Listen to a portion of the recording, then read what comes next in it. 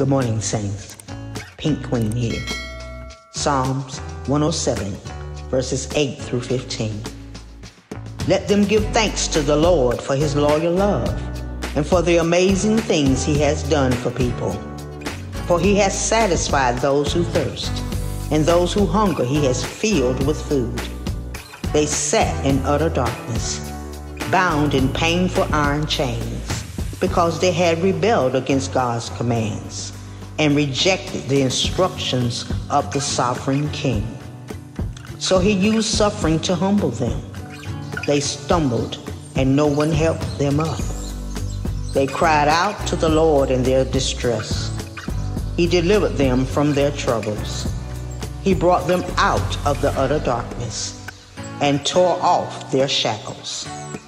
Let them give thanks to the Lord for his loyal love and for the amazing things he has done for people.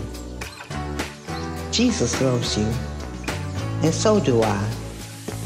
Y'all have a kingdom day.